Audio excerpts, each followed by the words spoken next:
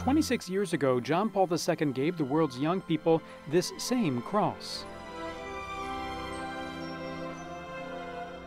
Carissimi giovani, al termine dell'anno santo affido a voi il segno stesso di quest'anno giubilare, la croce di Cristo.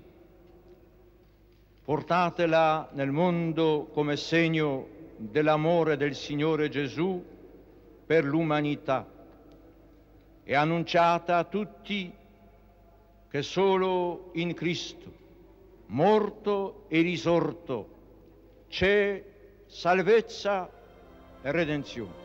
Since then, the cross has been kept in the Centro San Lorenzo here in Rome.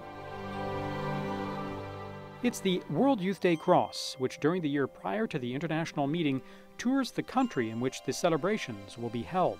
Now it can be found in Spain. As a traveling cross, it's also been to places where there's been suffering.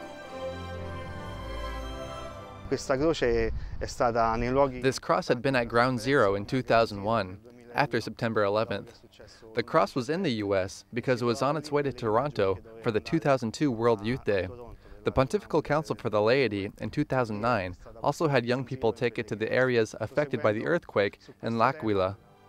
From east to west and north to south, this cross has traveled all over the world. Those bearing the cross can receive a special plenary indulgence granted by the Pope.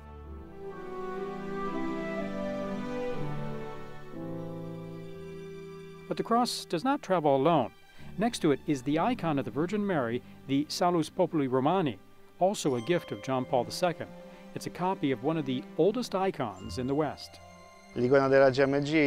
Mm, the icon of World Youth Day, Maria Salus Populi Romani, is always on pilgrimage together with the cross to show young people the support of Mary, who is the mother of young people. The cross and icon both are symbols of hope and a great help for their future. A cross and an icon two gifts that Pope John Paul II gave to young people and which are now traveling to Spain in anticipation of the great gathering of Madrid 2011.